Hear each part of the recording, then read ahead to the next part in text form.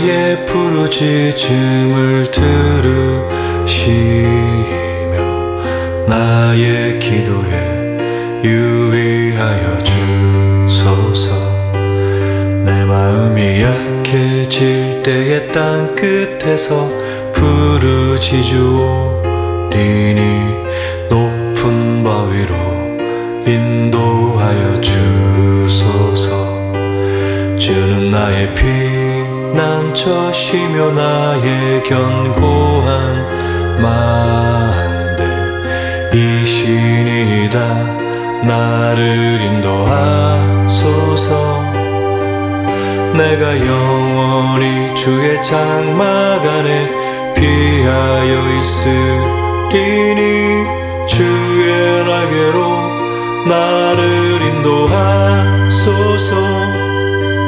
주 하나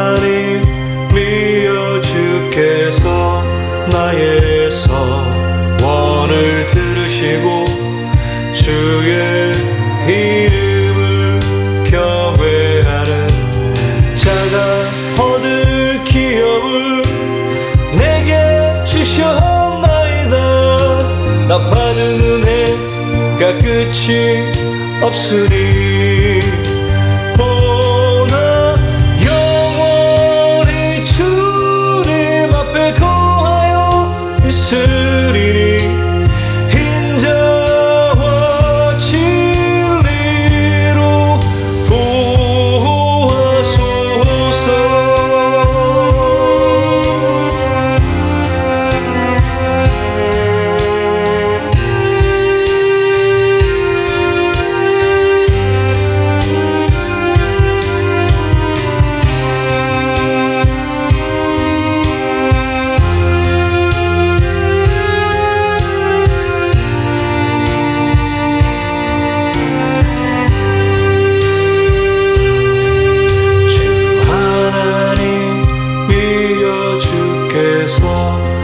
나의 서원을 들으시고 주의 이름을 경외하는 자가 얻을 기업을 내게 주셨나이다.